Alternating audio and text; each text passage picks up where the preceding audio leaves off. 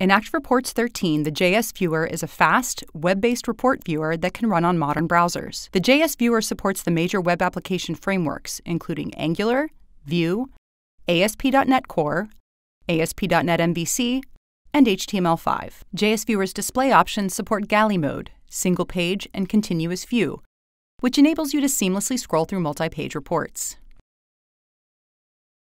You can download your reports to a PDF document or an Excel workbook with a single click.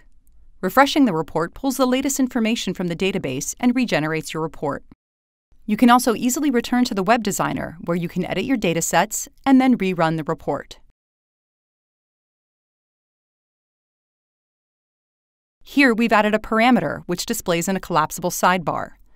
Users can easily select a parameter and filter on their report results.